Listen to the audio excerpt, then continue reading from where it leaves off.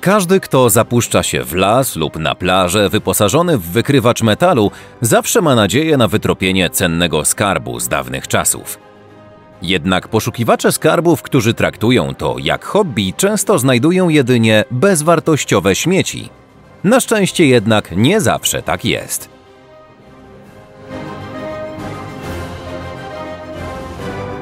Niektórzy ludzie dzięki swoim wykrywaczom metalu odkryli już starożytne przedmioty o niezmierzonej wartości, które profesjonalni badacze pragnęli dostać w swoje ręce. W dzisiejszym filmie dowiesz się, które cenne sekrety zostały już wydobyte na światło dzienne za pomocą tych sprytnych urządzeń.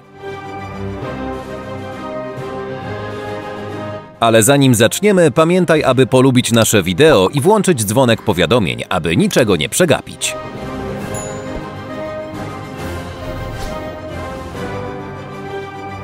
Średniowieczna pieczęć. Niedaleko pada jabłko od jabłoni. Brytyjczyk Paul Henderson od dawna pasjonuje się rekreacyjnym poszukiwaniem skarbów za pomocą wykrywacza metali. Ekscytujące hobby, które szybko urzekło także dziesięcioletniego syna Paula, George'a. Tak się złożyło, że kilka miesięcy temu zespół ojciec i syn ponownie wyruszył na poszukiwania w angielskim hrabstwie Suffolk. Tego dnia po zaledwie 10 minutach detektor George'a zadziałał, ujawniając bezcenny i historyczny artefakt. Po wykopaniu dołu, głębokiego na około 15 cm, obaj odkrywcy zobaczyli mały obiekt, który wyglądał na bardzo stary i miał napis w języku łacińskim. Po badaniach ekspertów stało się jasne. George znalazł pieczęć monastyczną z XIII wieku. Takie metalowe przedmioty były wykorzystywane do stemplowania oficjalnych dokumentów. Fakt, że George natknął się na około 800-letnią matrycę, był prawdziwą sensacją w szeregach badaczy. Normalnie w średniowieczu powszechną praktyką było topienie metalowych matryc, gdy stały się zużyte i nie nadawały się do użytku. Młody poszukiwacz skarbów wraz z rodziną postanowił zlicytować rzadką pieczęć. Na aukcji znalezisko osiągnęło cenę równowartości 4800 euro. Zgodnie z wymogami prawa w Anglii Hendersonowie podzielą się tą sumą z właścicielem pola, na którym znaleziono pieczęć. Co szczególnie ekscytujące, na aukcji wystawiono na sprzedaż nie jeden, ale dwa artefakty, które zostały wyśledzone za pomocą wykrywacza metalu. Złoty pierścionek od szeryfa Nottingham. Żebyśmy dobrze się zrozumieli, obiekt opisywany w tym przypadku oczywiście nie należał do słynnego Robin Hooda, bo ten istnieje tylko w legendach. Pierścień znaleziony za pomocą wykrywacza metalu i sprzedany na wspomnianej aukcji był w XVII wieku własnością prawdziwego szeryfa Nottingham. Biżuteria, taka jak ten szlachetny złoty pierścień, symbolizowała wysoką pozycję społeczną zawodowego łowcy kryminalistów. Tym razem to 64-letni Graham Harrison odkrył historyczny artefakt na polu w Nottinghamshire. Emerytowany oficer marynarki handlowej opisał swoje sensacyjne znalezisko jako absolutną atrakcję jego amatorskiej kariery poszukiwacza skarbów. Pierścień, który po tak długim czasie nadal jest w wyjątkowo dobrym stanie, został sprzedany za równowartość 10 tysięcy euro. Znalezisko z innego świata. W 2012 roku 13-letni Jensen Lyons przeszukiwał równiny Rio Rancho w Nowym Meksyku swoim wykrywaczem metalu. Nastolatek wkrótce dokonał odkrycia, które było dosłownie nie z tego świata. To meteoryt ważący prawie 1 funt. Później stało się jasne, że tak zwany chondryt niklowo-żelazny uderzył w Ziemię około 10 tysięcy lat temu i od tego czasu czekał na swoje odkrycie. Fragment kosmicznego pocisku został wystawiony na Uniwersytecie w Nowym Meksyku, a młodemu znalazcy pozwolono zatrzymać resztę. Chociaż mógłby zarobić nawet tysiąc dolarów sprzedając obiekt, Jansen nie chce pozbyć się swojego galaktycznego odkrycia. Szczęście początkującego Niektórzy odkrywcy spędzają lata szukając wskazówek za pomocą wykrywaczy metali i nie znajdują niczego. Jednak w przypadku Brytyjczyka Wesleya Carringtona było zupełnie inaczej. Jego historia to doskonały przykład szczęścia początkującego. Po tym jak Wesley dostał w swoje ręce wykrywacz metalu w 2013 roku, postanowił od razu wypróbować swoje nowe urządzenie. Po zaledwie 20 minutach detektor zadziałał i ujawnił kryjówkę ze starożytnymi rzymskimi złotymi monetami. Około 1700-letnie monety są dziś warte aż 117 tysięcy euro. Wesley żartował w wywiadzie, że osiągnął już szczyt jako poszukiwacz skarbów i teraz może porzucić karierę eksploracyjną. Specjalny podziemny parking. Wiele cennych przedmiotów odnajdywanych za pomocą wykrywaczy metali ma już kilkaset lat. Jednak nie wszystkie odkryte obiekty są tak stare, ale to nie znaczy, że ich historie są mniej interesujące. W 1966 roku grupa zapalonych tropicieli odkryła kompletnego Forda Model T w Detroit. Jednak odkrycie auta, które zbudowano w 1913 roku, nie było przypadkiem. W regionie, o którym mowa, od dawna utrzymywała się legenda, że człowiek o imieniu Nate Andrews postanowił zakopać swój samochód w latach dwudziestych. Podobno miało to na celu ochronę pojazdu przed zniszczeniem i utrzymanie jego wartości. Jednak z jakiegoś powodu Nate nie był później w stanie zabrać swojego ukochanego Forda z jego niezwykłego miejsca parkingowego. Skarb Frome jeśli myślałeś, że znalezienie jednego cennego przedmiotu jest wystarczające, powinieneś teraz uważnie posłuchać. Skarb Frome, który został odkryty około 12 lat temu, składa się łącznie z ponad 50 tysięcy rzymskich monet. Biorąc pod uwagę dzisiejszy temat odcinka, jak mogłoby być inaczej? Oczywiście napełnione po brzegi garnki na monety obudził z wielowiekowego snu zwykły amator skarbów. Rzymski skarb odkryty w pobliżu tytułowego miasta Frome w angielskim hrabstwie Somerset jest wart 385 tysięcy euro. Archeolodzy, którzy mieli wydobyć cały skarb z ziemi, pracowali łącznie trzy dni. Połowa dochodów trafiła do szczęśliwego znalazcy, druga połowa natomiast trafiła do właściciela ziemi. Hełm Crosby Garrett tak zwany hełm Crosby Garrett to starożytny rzymski artefakt, który pragnęłoby mieć wiele muzeów. Jest jednak pewien problem. Jest on w posiadaniu nieznanego prywatnego kolekcjonera od ponad 10 lat. Hełm odkryty w 2010 roku w angielskim hrabstwie Cambria został wkrótce potem sprzedany w słynnym domu akcyjnym Christie's. Wartość hełmu, który nie był noszony na polu bitwy, a jedynie podczas uroczystych wydarzeń, szacowano wcześniej na 300 tysięcy funtów.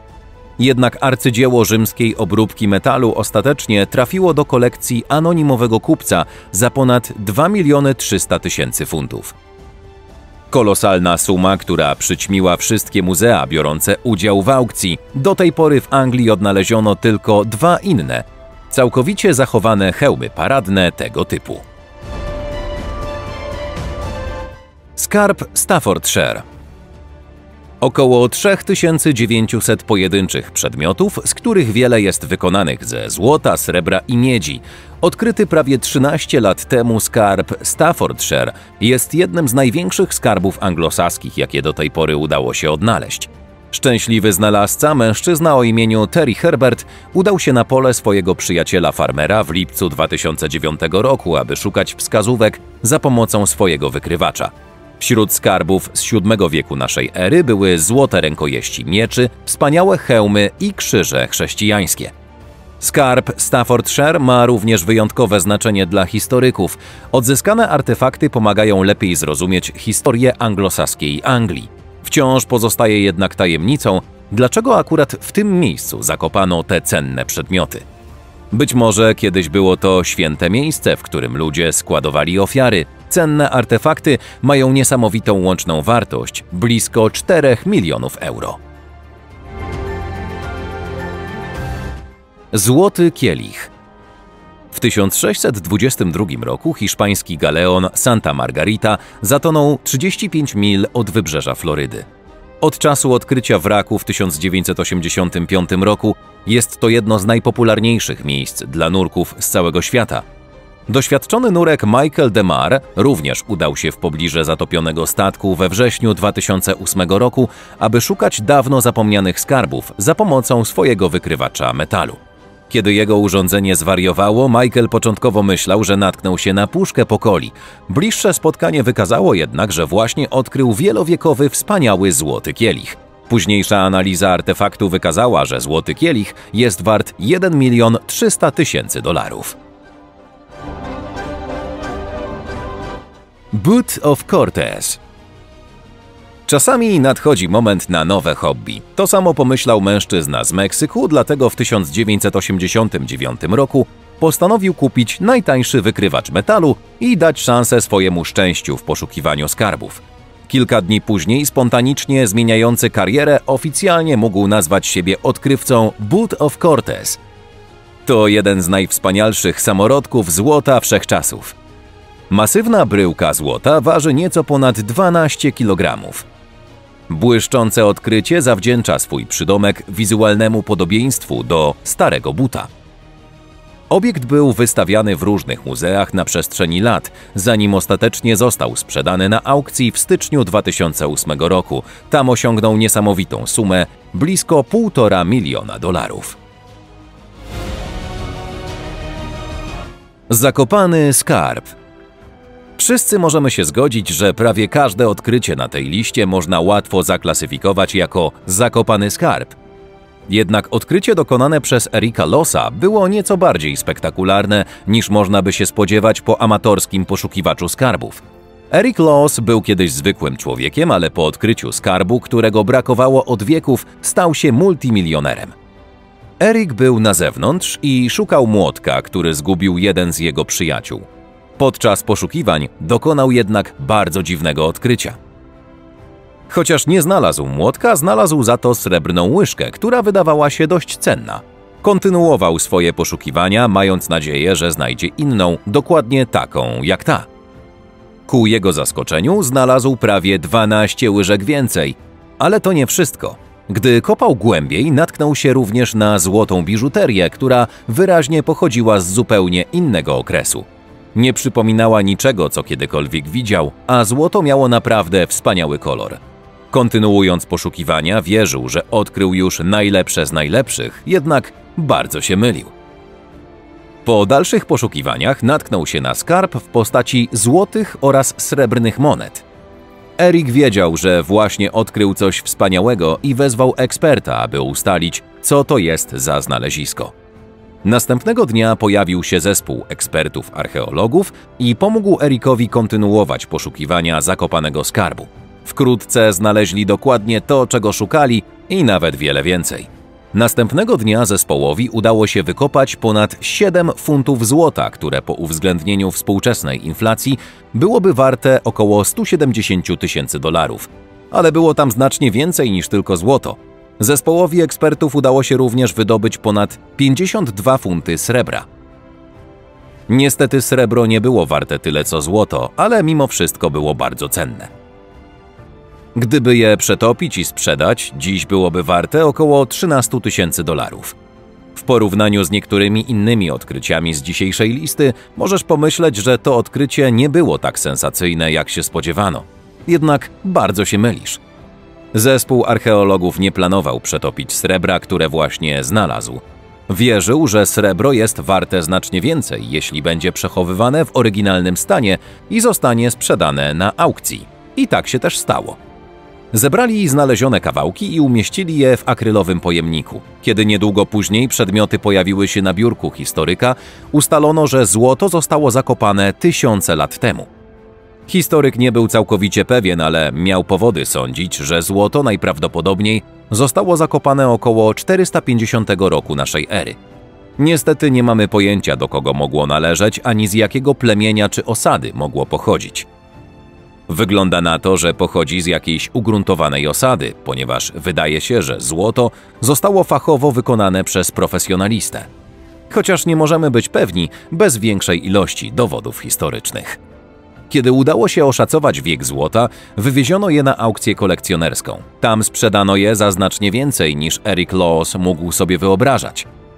Jego odkrycie przyniosło mu około 2,5 miliona dolarów. Pamiętaj też, że gdyby złoto zostało stopione i sprzedane, byłoby warte tylko około 190 tysięcy.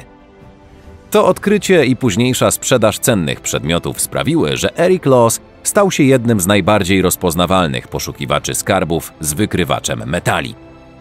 A młotek swojego przyjaciela też znalazł. Teraz kolej na Was. Które znalezisko najbardziej Was zafascynowało? Czy kiedykolwiek sami wybraliście się na poszukiwanie skarbów z wykrywaczem metali? Podzielcie się swoimi przemyśleniami, sugestiami, opiniami na temat dzisiejszego odcinka w komentarzach poniżej. Jeśli podobał Ci się nasz wyjazd w świat ekscytujących odkryć, daj nam łapkę w górę. Nie zapomnij też zasubskrybować i włączyć powiadomień, aby być z nami na bieżąco. Sprawdź też pozostałe odcinki z naszego kanału, które umieściliśmy dla Ciebie właśnie tutaj. Dzięki za oglądanie, życzymy miłego dnia i do następnego razu.